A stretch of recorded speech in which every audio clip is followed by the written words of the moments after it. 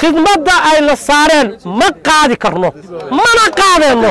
Shacabka ayaa cabashooyin kala duwan ka muujiya adeegyada bulshada ay qabtaan shirkadaha gaarka loo leeyahay.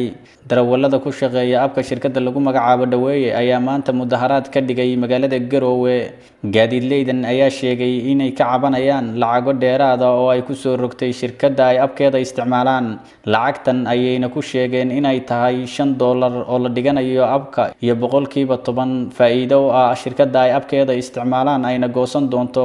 Wadayaasha gaadiidkan ay isticmaalaan shacabku ayaa arrinta sidatan uga hadlay.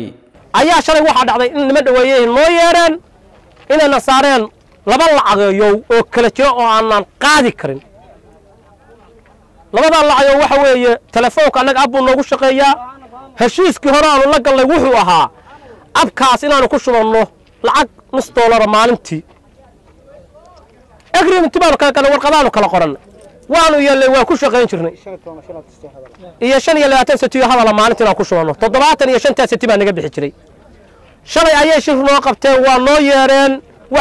doonaynaa inaad shirkaddii wax ku celisaan idina wax faa'iidaan annaguna wax faa'idno waxaanu ku leeyahay jireen laakiin waxa aad faa'iidaysaan dee wixii naga faa'idi jirin baa faa'ido idinku filan absolute noogoo fu noogoo fula bay dheheen haddii meeshaan iskugu nimanana waxaa la yidhaahaa anugu dee kelmadaha saa uma aqaaniye?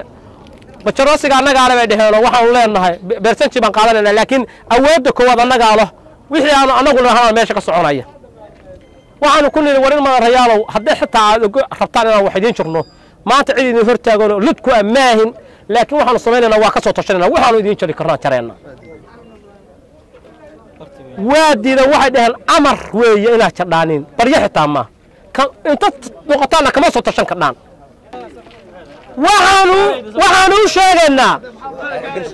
Waxaanu u sheegaynaa haddayna khidmadda aysan ka noqon.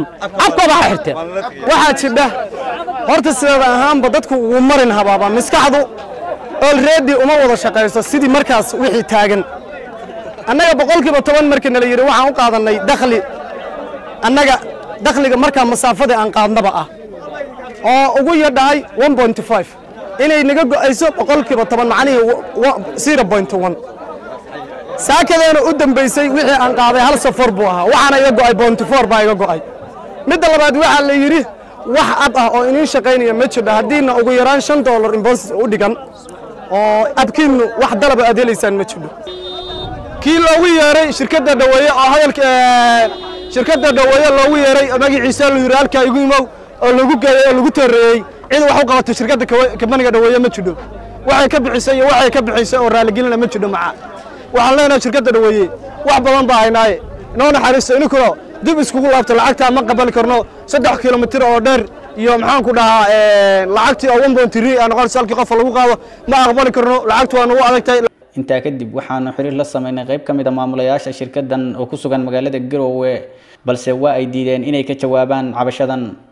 Jaamac ciise maxamuud universal t v garoowe